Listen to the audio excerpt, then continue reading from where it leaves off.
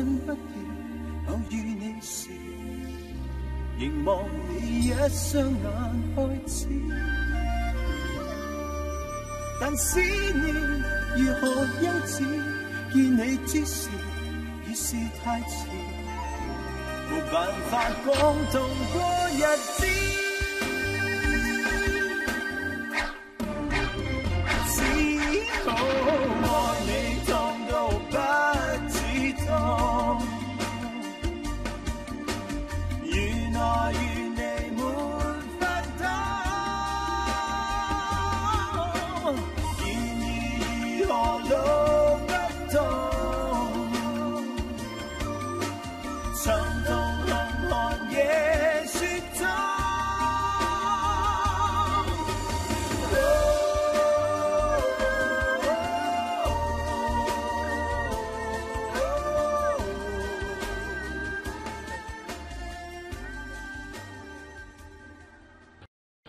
Chào đời. Mẹ tôi đã bị Điền Quy Nông hại chết. Tôi đã tận mắt chứng kiến Điền Quy Nông giết người vô cớ. Trong thâm tâm tôi Điền Quy Nông là một kẻ tử tội tại trời. Cho nên bấy lâu Tôi luôn có thành kiến với cô. Đến khi Tam Ca nói cho tôi biết Thì ra cô và Điền Quy Nông cũng Cho dù tôi giết hắn 10 lần Cũng có giải được mối hận trong lòng tôi. Niệm cô nương Vậy tại sao cô cứu hắn? Bởi vì hắn là cha tôi. Hắn là cha cô cũng là kẻ thù giết mẹ tôi.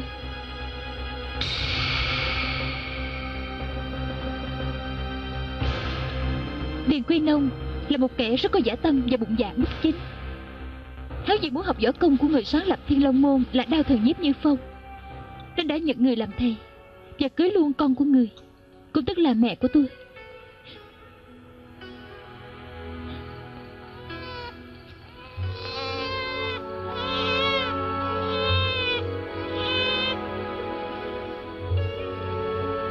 Nhưng khi tôi chào đời không được bao lâu, Hắn đã thay lòng đổi dạ qua lại với vợ của miêu nhân phụng là Nam Lan Hắn không coi ai ra gì, Sắp xếp bà ta ở gần Thiên Long Môn. Cuối cùng, vào một lần hẹn hò, Đã bị ông ngoại tôi đau thần phát hiện. Dĩ nhiên, ông ngoại tôi không cho phép. Tên gian tặc Điền Quy Nông Đã dám giết ông ngoại tôi nhân lúc sám hối. Lỗi tại con Con không phải con người. Tôi nhất thời kiềm chế không được. Làm chuyện như vậy thôi. Con không thể mất Tú Phương. Con chỉ nhất thời nông nổi. Tham lam mỹ sắc. Sư phụ Xin tha lỗi cho con.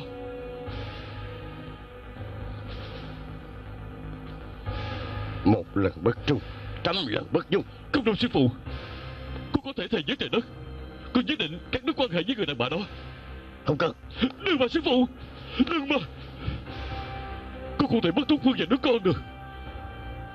Thì coi như gì mẹ có cổ, Tha thứ cho con lần này đi. Sư phụ, Nếu thầy không chịu tha thứ cho con Con định phải chết thôi. Tên súc sinh Lão già chết đi.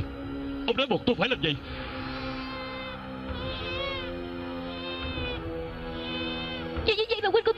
Nữa Trúc Phương Huynh bắt đắc dĩ phải làm vậy. Nếu Huynh không làm như vậy Cha muội nhất định sẽ giết Huynh Không đâu Cha không giết đâu mà. Cho dù cha không giết Huynh Từ nay Huynh sẽ mất hết tương lai. Cha sẽ không truyền cho Huynh chức vị trưởng môn thiên long môn. Tâm quyết bao nhiêu năm nay của Huynh Có như lãng phí? Huynh không được tới gần. Sự việc bây giờ Quân không thể để cho mẹ của Bùi ở đây được.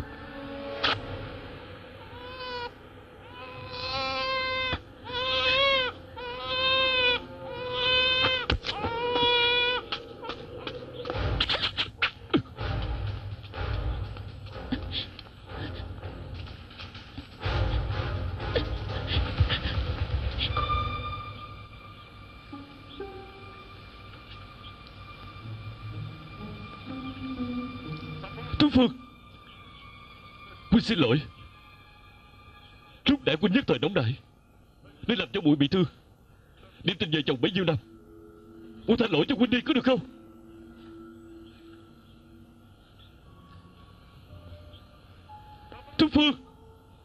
Chứ tôi của muội như thế nào? Muội ra đây để quên băng bó cho muội Chảy máu như vậy nguy hiểm lắm.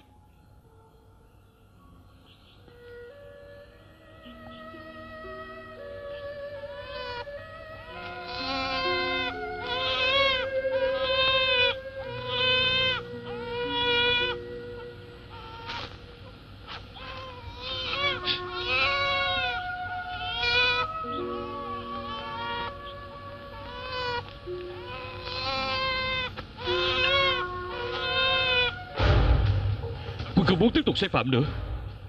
Chỉ cần một chịu tha thứ cho Quynh Chúng ta có thể làm lại từ đầu.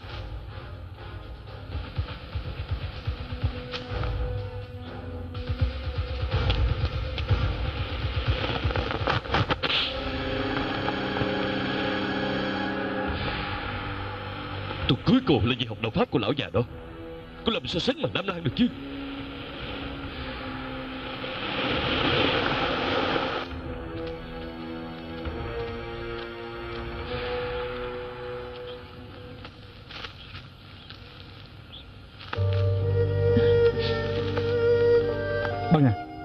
Thấy thế nào? Có thể mẹ nó còn ở gần đây Hay là mẹ đi xung quanh tìm thử? Hy vọng có thể kịp thời tìm được.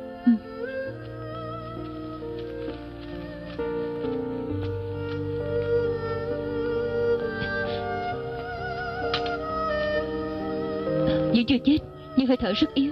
Để thử coi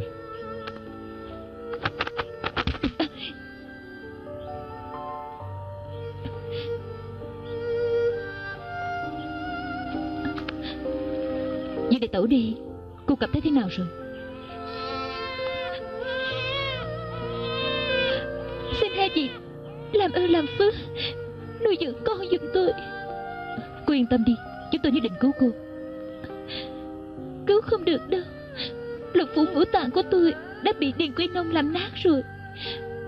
Mai mốt, Đợi con tôi lớn lên, Phiền hai vị ơn công Nói cho nó biết giùm tôi. Tôi đã bị cha nó Điền Quy Nông giết chết. Và cả ông ngoại của nó là đau thần. Đau thần giết Diệt Phong là ông ngoại nó à? Ông ngoại nó Cũng bị tên súc sinh này đánh lấy Rơi xuống vực sâu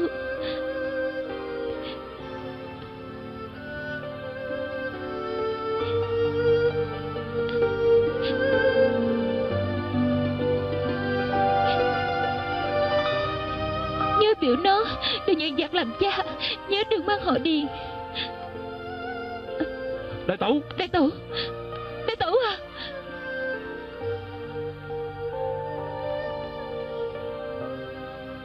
Khi đó sư phụ đi ngang qua nên lượt tôi về. Người dạy tôi võ công Kể từ đó tôi mang họ nhiếp. Nhiếp cô nương Quý đừng nghĩ thương hại tôi Tôi không cần ai tội nghiệp đâu. Sư phụ của tôi đã nuôi dưỡng tôi Dạy tôi võ công. Tôi đã từng thề độc nhất định giết chết Tên súc sinh Điền Quy Nông, Để trả thù cho mẹ của tôi. Và ông ngoại tôi, Sư phụ nói tôi hắn với mẹ tôi, Nhưng dù sao cũng là cha ruột của tôi. Tôi cứu hắn hai lần, Là muốn trả lại ơn sinh thành cho hắn gấp hai lần. Sau đó chúng tôi đòi từ ân tình. Lần sau gặp hắn, Tôi chỉ định lấy đầu của hắn.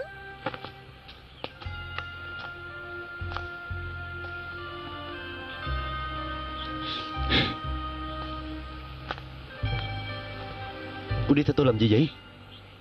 Biết trước tôi sẽ không đi theo Làm tôi khóc muốn sưng mắt luôn. Cô khóc cái gì chứ? Quỳnh có phải con người hay không? Gia cảnh của người ta thê lương quá. Tôi tưởng đâu Chỉ có tôi và Quỳnh thê thảm. Còn cổ Cổ thê thảm không biết Nói như thế nào nữa. Cô nói cái gì? Không biết là nhân duyên hay nhân hoàng nữa. Tôi và Quỳnh đều mất cha mất mẹ. Còn cổ Cổ có thêm một người cha khốn kiếp Đúng ra tôi không khóc nữa. Nhưng mà Nhưng mà Quỳnh lại làm tôi khóc nữa rồi. Lại liên quan tới tôi à? Chứ liên quan tới ai nữa? Tôi chọc có khóc hồi nào đâu. Thôi đừng khóc nữa mà Tay áo này của tôi bộ cô không có sao. Cái gì? Tay áo của Quỳnh sạch hơn mà. Tất cả cũng lỗi tại Quỳnh đó. Báo hại tôi bêu xấu trước mặt chú Tư Không ngờ gia cảnh của nhiếp cô nương tội nghiệp như vậy. Thiệt khổ cho cổ. Cho nên tôi đã quyết định rồi. Phải cố gắng chăm sóc. Tiểu sư điệt cô đơn lẻ loi không nơi nương tựa này. Không thể để cho cổ lâm đường lỡ bước Quên cả thân mình được. Tiểu sư điệt Cái gì? Dù sao tôi cũng là đệ tử bế môn của đao thần nhiếp như phong mà. Mẹ của cổ cũng là sư tỷ của tôi. Xét theo gia dế Tôi cũng là tiểu sư thúc của cổ vậy. Ha, Đột nhiên hôm nay cô biết rất nhiều thành ngữ. ha. Tôi không biết chữ thôi. Không có nghĩa là tôi không biết thành ngữ. Tên cô Quỳnh cũng khó đọc vậy Tôi cũng có thể nói được mà. Hôm nay thái độ của cô tốt với tôi lắm. Cô đừng tưởng mình là sư thúc ngang hông với người ta Thì có thể tắt qua tắt quái. Thân thế người ta tội nghiệp như vậy Cô đừng ăn hiếp nữa nha. Bây giờ Quỳnh cũng đã chứng minh cổ là người tốt. Quỳnh vui rồi. Chỉ biết quan tâm cổ Không cần quan tâm tôi nữa. Cái gì? Cái gì? Cái gì? Con cũng đâu biết cái gì. Chú cũng biết cổ khó hiểu rồi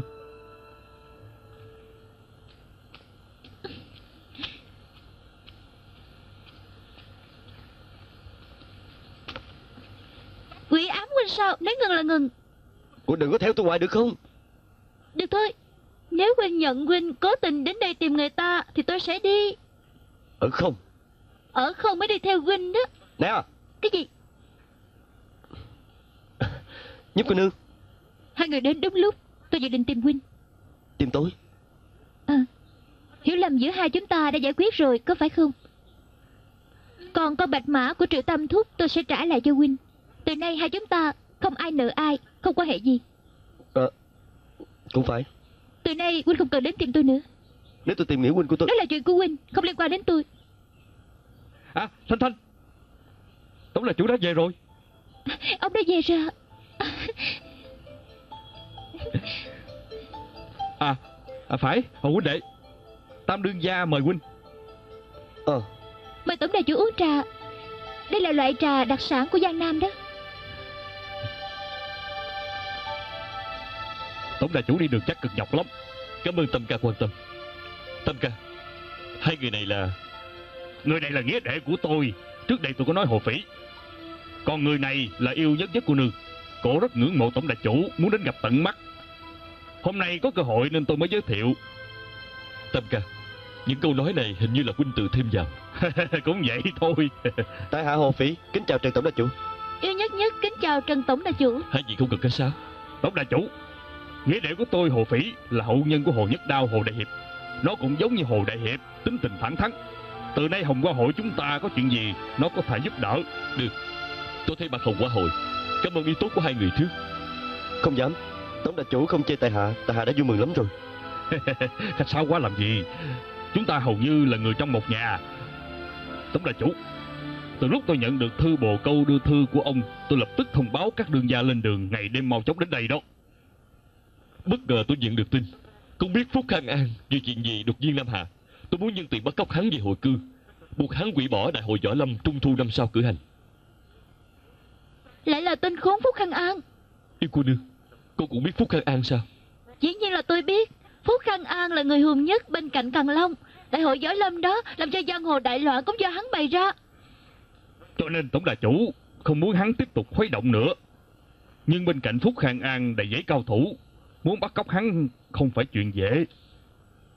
Có thể nói là rất khó khăn Cho nên nhất định phải bàn kỹ kế hoạch một phát ác trúng Có phải tổng đại chủ đã có sắp xếp không? Đúng vậy. Đợi sau khi các đương gia đông đủ Tôi sẽ nói với mọi người kế hoạch chu đáo hơn.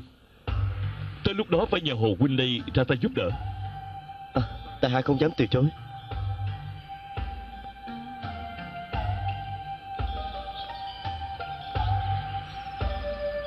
Bạch Mã ơi Bạch Mã Ngươi sao ta bấy lâu ta nhớ ngươi lắm Ngươi có biết không? Ừ. Bây giờ nhiếp cô nương giao ngươi lại cho ta. Bạch Mã Ngươi theo cổ bấy lâu Chắc chắn ngươi biết tâm sự của cổ.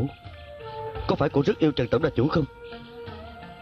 Ngươi không nói Kẻ mù cũng nhìn thấy mà. Cổ một lòng một dạ với Trần Tổng Đà Chủ. Tâm Nghiễn đại ca Huynh có để ý cặp mắt của Tam Thanh cô nương Nhìn tổng đại chủ của Huynh hay không? Không phải chứ Cô kéo tôi ra đây là hỏi tôi chuyện này sao? Vậy thật ra Không cần thật ra nữa. Mọi người ở trên ở dưới Bên phải bên trái đằng trước đằng sau Đều biết Tan Thanh trung thành với tổng đà chủ rồi. Nhưng mà mọi người không nói Thì đừng tưởng không ai biết. Kẻ mù họ cũng trông thấy. Cũng may lắm. Cũng may cái gì? Huynh không có hiểu đâu. Đúng là tôi có điều không hiểu. Hồ đại ca của cô á, Lúc thì mặt mày dữ tợn với Thanh Thanh Lúc thì đối với cổ Giống như là bị quỷ ám vậy đó Đó đó đó đó đó đó, đó. Luôn cả Huynh cũng cảm thấy hả? Kẻ mù cũng trông thấy hắn yêu cổ. Tại hắn nhất mực chối cãi thôi. Trời vậy tính sao đây? Người này thì yêu người này Còn người này thì yêu người này. Nhưng mà người này á thì không yêu người này. Trời ơi Nếu vậy thì trước sau cũng có chuyện. Biết trước rồi Tôi có biểu hắn đừng yêu người ta Hắn một hay không nghe. Hai người nói đủ chưa? Thực ra tôi không có yêu Tăng Thanh cô nương. Hai người nói vậy Sẽ làm mất danh dự của cổ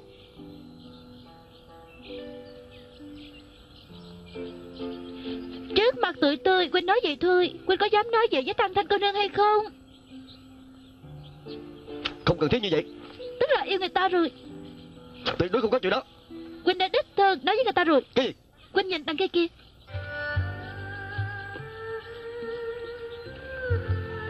Nhiếp cô nương. Ai biểu Huynh không chịu gật đầu trước? Ờ hả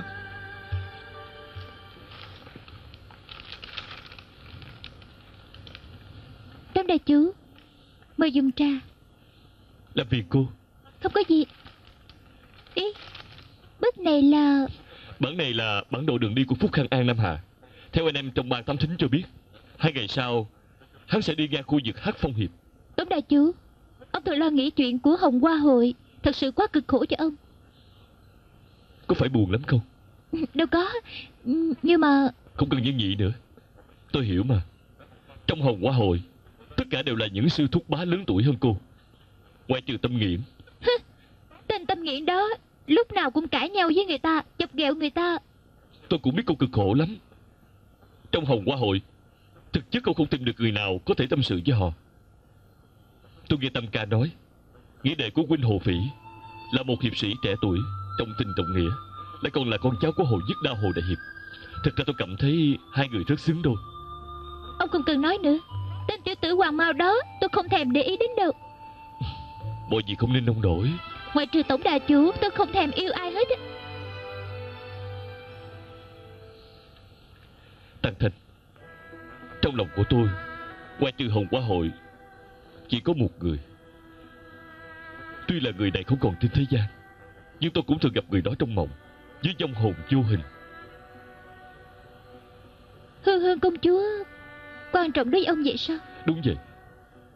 Cô đã chết vì tôi. Đó là ân hận cả đời của tôi. Nhưng cũng có thể nói Thực chất cậu không chết. Bởi vì Cô mãi mãi ở trong lòng tôi. Cô là người con gái duy nhất. Tôi yêu suốt đời suốt kiếp. Cô có hiểu không? Khờ quá.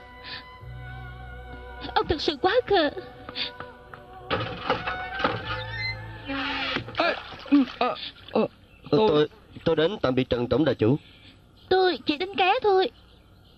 À, à, Tôi đem nước tới cho tổng đại chủ rửa chân mà.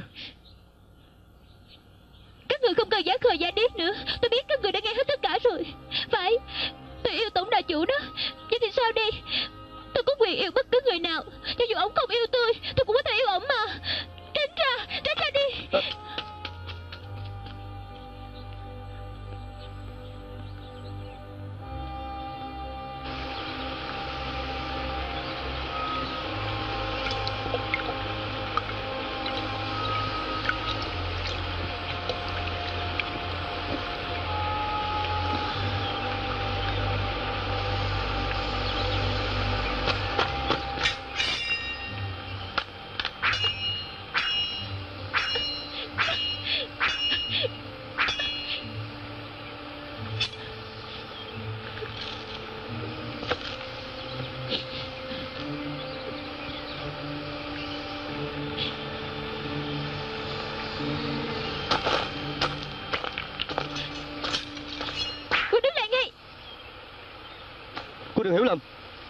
tránh né Tôi hiểu. Yêu một người và người đó không yêu mình Cảm giác đó rất khó chịu. Nhưng bên cạnh cô còn nhiều người khác. Không chừng mai mốt cô sẽ tìm được một người cô rất yêu rất yêu. Yêu đến lúc đó. Cấm miệng đi Tôi không cần Huynh nhiều chuyện đâu. Không phải đâu Tôi thật lòng. Huynh đi đi Từ nay tôi không muốn trông thấy mặt Huynh nữa. Nếu cô nương Cô nghe tôi nói đi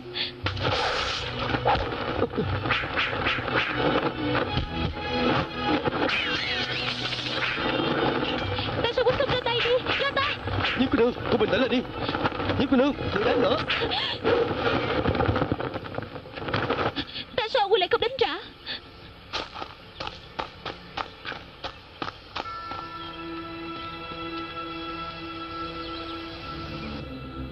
Hồ đại ca đi đâu rồi cũng biết nữa. Đi tìm nãy giờ cũng không thấy đâu hết. Ơi lại còn cô thanh thanh nữa. Lỡ như hai người này gặp nhau Hồ đại ca. Ý. Tay của huynh bị sao gì À không, không phải. tặc thảo khấu sao? À, Không, không phải đâu. Tôi luyện công cho nên mới bị thương. Tôi vô nói với Tam ca một tiếng tôi sẽ đi ngay không, Không phải, phải chứ. Không lý nào. Luyện đao pháp hồ gia như thế nào Cũng không bị như vậy được. Thì đó nè cầm đao là tay phải. Tay phải luyện đao pháp làm sao chặt trúng tay của mình được phải không? Tôi cũng nghĩ như vậy. Nhất nhất? Cô chưa đi phải không? Tôi đi trước nha.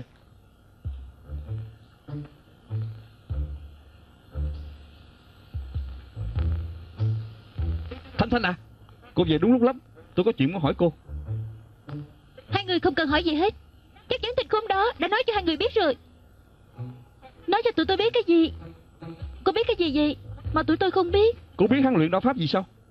Cái gì không biết hồ phỉ làm cái gì. Hắn nói cho tụi tôi biết luyện đao pháp làm tay bị thương. Cô có tin hay không? Không được. Tôi phải đi hỏi rõ mới được. Được.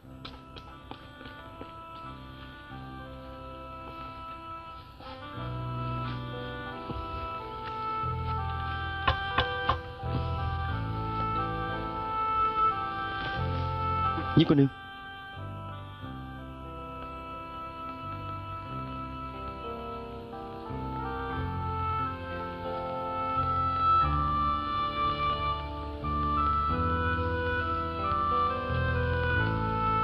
Là phiền cô. À nhất cô nương à? Sao hả? Muốn tôi nói câu xin lỗi Hay muốn tôi nói cảm ơn đi? Ý tôi không phải như vậy đâu. Không có gì phải không Vậy tôi đi nha. Nhất cô nương. Tôi Tôi muốn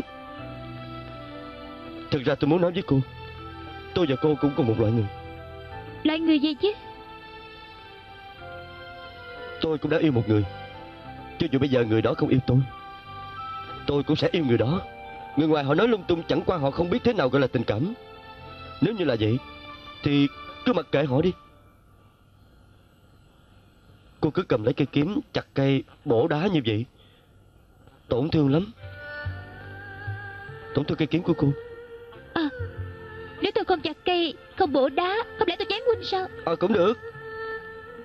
Ờ thì cũng như hôm nay vậy. Nhưng nếu có lần sau Cô ra tay đừng mạnh quá Nếu không tôi sẽ bị nặng lắm.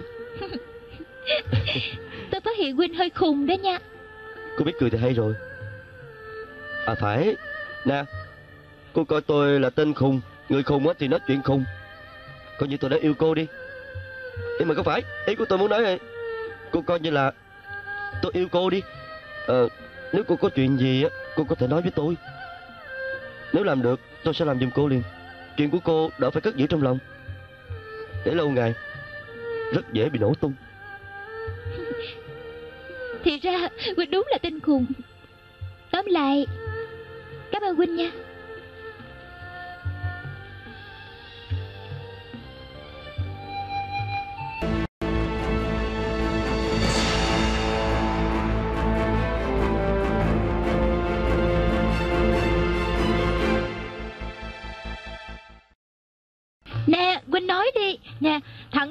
Lòng Nếu như Huynh nói ra Từ nay tôi sẽ không hỏi Huynh nữa Nếu như Huynh không nói Huynh sẽ không có ngày yên thân Sao hả? Tại sao vậy? Không có gì Không có hả? Nếu không có gì Huynh sẽ không Từ lúc tối qua Tăng Thanh đến tìm Huynh đến giờ Huynh cứ cười thầm hoài à Sao hả? Sao? Tại sao vậy? Sợ cô quá rồi Huynh nói đi Nè chỉ có hai câu thôi Tú Hoa Tăng Thành nói với tôi Cổ nói là từ nay không nghĩ lung tung nữa Biểu tôi không cần lo cho cổ. Đơn giản vậy thôi sao? Nếu không phức tạp đến cỡ nào. Khoan đã Có phải Huynh và Tăng Thanh đã làm lành lại rồi không? Cô điên rồi hả? Ăn nói lung tung à Nếu không tại sao đến giờ Huynh vẫn còn cười? Sao hả? Nhất nhất à Cô đừng có phiền phức nhiều chuyện nữa được không? Cái gì chứ? Sao hả? Tại sao vậy Trời có cần gấp vậy không Muốn làm cháy con ngựa hả Có phải Tăng Thanh xảy ra chuyện không Hả? Chuyện gì chứ? Đâu có. Hả? Tăng Thanh gặp chuyện sao?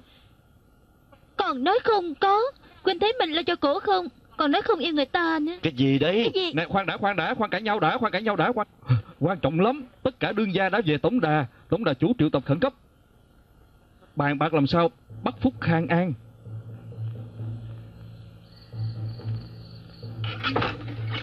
Tôi vừa nhận được thư của anh em trong ban Ngày mai Phúc Khang An sẽ đi ngang Hắc Phong Hiệp. Tôi đã cho người làm cạm bẫy trên đường. Sáng sớm ngày mai chúng ta chỉ làm hai ngã. Trước sau hợp sức bắt giữ Phúc Khang An Hễ thành công thì lập tức rút lui. Những người còn lại phụ trách thiết ứng Ngăn cản truy đuổi. Sau đó sẽ tới miếu Lạc Ma ở kỳ viên sơ hội ngộ. Hồi ngồi ở miếu lạc ma. Đúng vậy Bởi vì tôi muốn đưa hắn về hội cương trước Giam giữ hắn ở tổng đà Hồng Quả Hội Buộc hắn đưa ra lời hứa hủy bỏ đại hội võ lâm trung thu năm sau cử hành. Nhưng muốn dẫn hắn ra biên ải Bởi vì tới lúc đó quan minh sẽ canh giữ tất cả cửa nẻo. Tôi đã nhờ trụ trì quan minh tự giúp đỡ. Tới lúc đó chúng ta sẽ cải trang làm tăng lạc ba Tra trộn vào dòng người lạc ba Coi như tới Tây Tạng bái kiến Sau đó xuất quan. Mọi người đã hiểu Thì bây giờ phân phối nhân lực đi. Trên tổng đại chủ Tuy võ công của tài hạ thấp kém Nhưng tôi tình nguyện làm tiên phong. Tôi không muốn cậu mạo hiểm như vậy. Cậu và yêu cô nương, tâm nghiện và tăng thanh theo tâm ca làm cứu binh, Phụ trách ngăn cản truy đuổi Được. Nhị ca Và các đương gia khác cùng nhau canh giữ trước sau Phụ trách bắt cóc Phúc Khang An Được.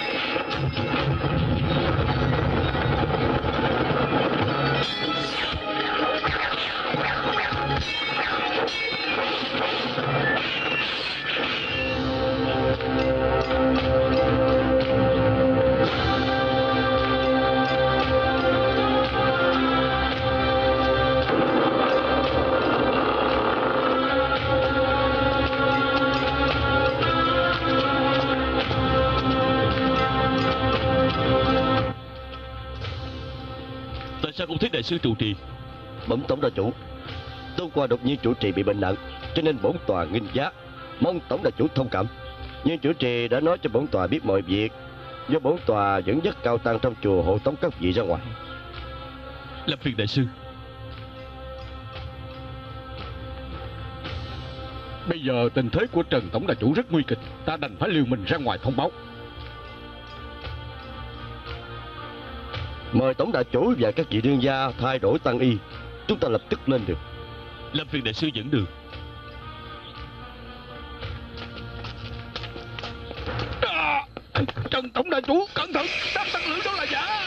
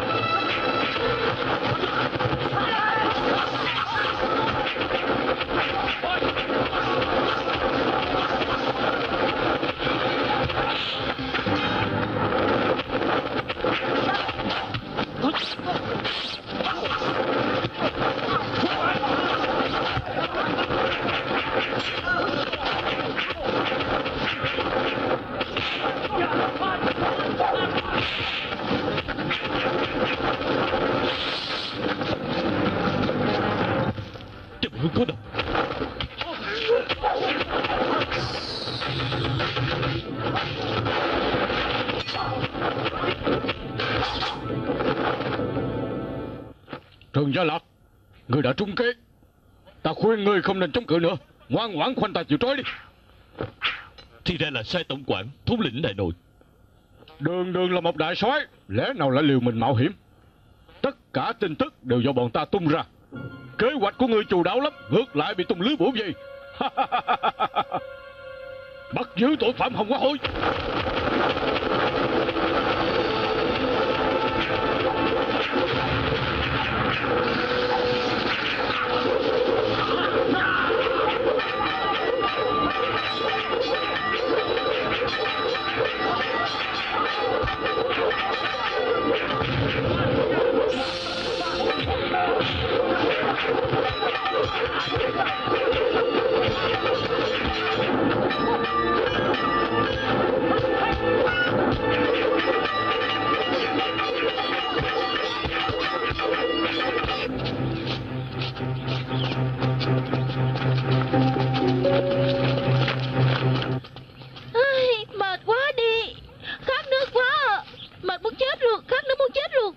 cô lại nhõng nhẽo nữa rồi. Mới làm chút xíu chuyện đã than mệt. Từ nhỏ tới lớn Chưa bao giờ tôi đánh lâu như vậy hết. Suốt chiều cũng nhiều Giết người cũng nhiều. Mệt cũng là lẽ đương nhiên thôi. Chưa hết Tất cả cũng tại quên mà ra. Tốt cho tôi quá.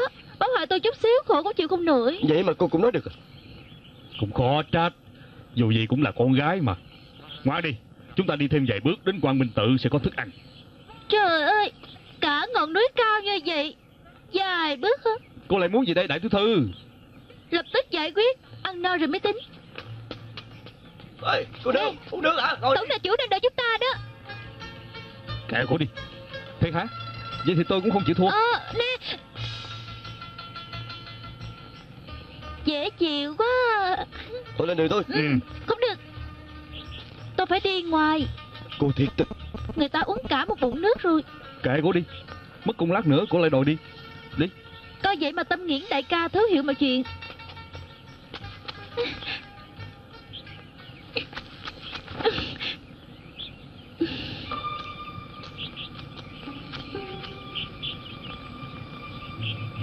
Trời ơi, Cũng may mình phát hiện sớm, Nếu không thiệt thòi quá rồi. Hôm nay là ngày gì vậy? Sao đông người quá ta?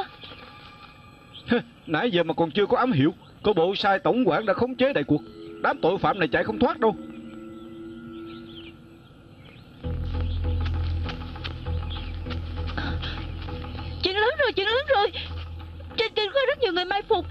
Là tổng quản gì đó khống chế đại cuộc. Một tên tội phạm cũng không có thoát đâu Chết. Có thể tổng đạo chủ bị mai phục rồi. Khoan đã. Chúng ta sắp xếp mọi chuyện. Chúng ta thế cô ít người. Phải tấn công từng tên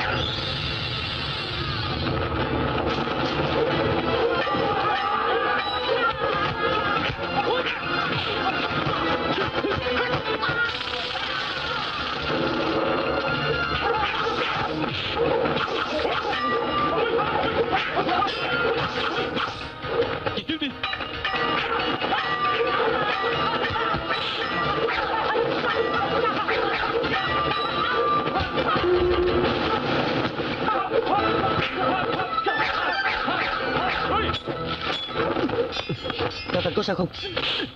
Không biết đi Tôi cổ chạy trước đi. Dạ, tổng đạo chủ.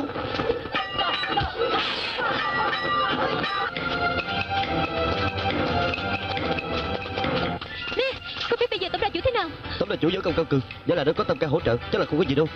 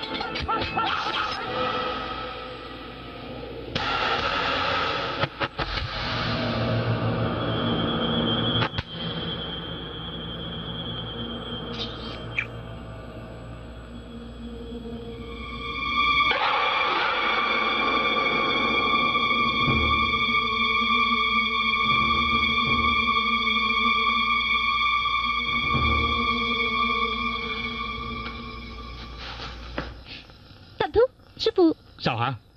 Nhớ nhất đâu rồi? Con nhỏ đó biểu nó ở đây còn khổ hơn biểu nó đi chết Nó nói nếu không có gì thì nói cho nó biết. Còn nếu có chuyện thì không có không có ăn nó xui xẻo.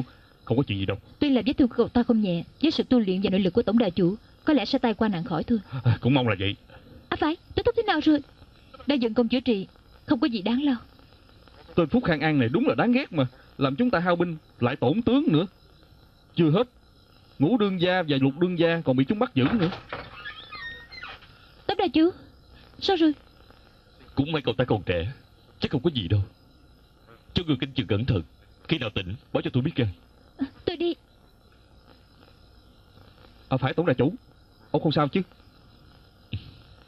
Ở đây có tăng thanh canh chừng được rồi. Hay là chúng ta đỡ tổng đại chủ vào trong nghỉ ngơi đi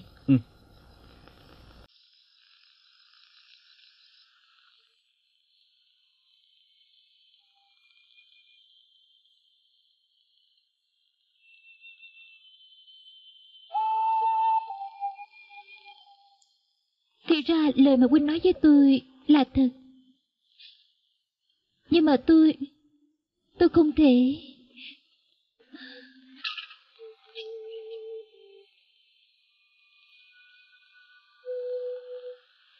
Nè có định trả ơn thế nào đi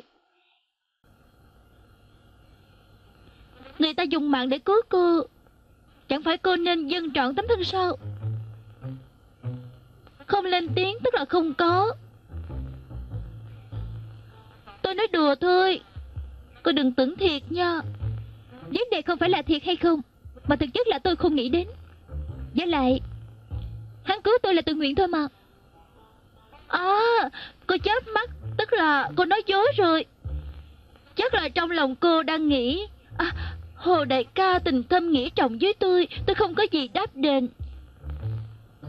Có phải tôi nói trúng rồi không? Cô muốn nói sao cũng được. Người đó là của cô. Chỗ này tôi giao lại cho cô. Cố gắng chăm sóc hắn đi.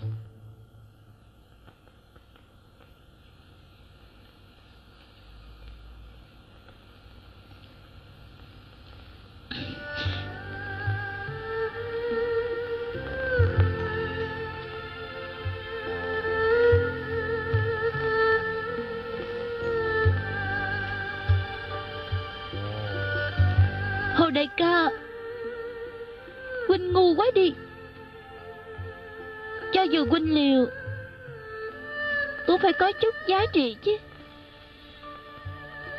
Trái tim của người ta Không hề có Huynh Cho dù Huynh tặng cả mạng sống, Cổ cũng không có yêu Huynh đâu. Người ta là cành vàng lá ngọc đó. Thiếu gì người thương chứ?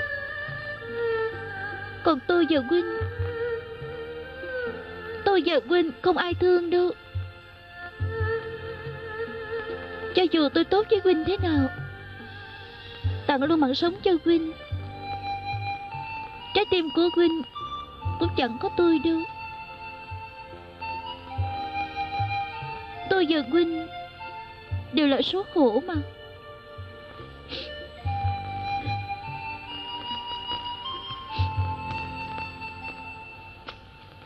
Lần này Phúc Khăn An bày Bu muốn bắt gọn chúng ta. Tôi thấy chuyện này càng nghiêm trọng hơn chúng ta đã nghĩ. Chắc chắn hắn còn mưu kế. Tổng đại chủ Chúng ta mặc kệ hắn có mưu kế gì. Bây giờ quan trọng nhất là giải cứu ngũ đệ và lục đệ. Tổng đại chủ Hồi cương có một câu đưa thư. Tổng là chủ Có chuyện gì quan trọng? Quả nhiên không ngoài dự tính của tôi. Có phải quốc cô nương và mọi người xảy ra chuyện không? Phúc Khang An cho binh lính đánh lấy bộ tộc Thanh Đồng. Thương vong có nghiêm trọng không nếu sự việc không nghiêm trọng, Thanh Đồng sẽ không mà mùi thả một câu đưa thư thông báo cho tôi.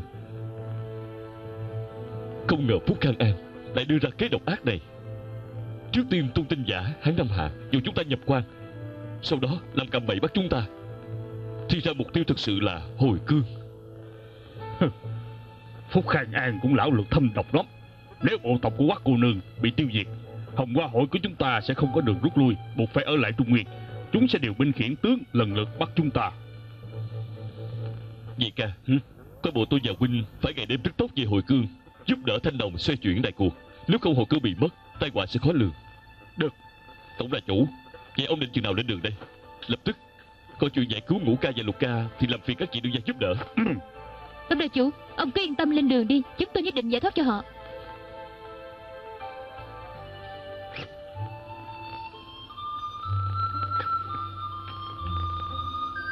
Tổng đại chủ Tôi đã thu xếp hành trang giùm ông rồi. Làm phiền cô. À, Đi đường nhớ cẩn thận nha. Tăng Thanh à, à, Tổng là chủ. À, Tôi đi coi nhị đương gia đã chuẩn bị xong chưa? Hả?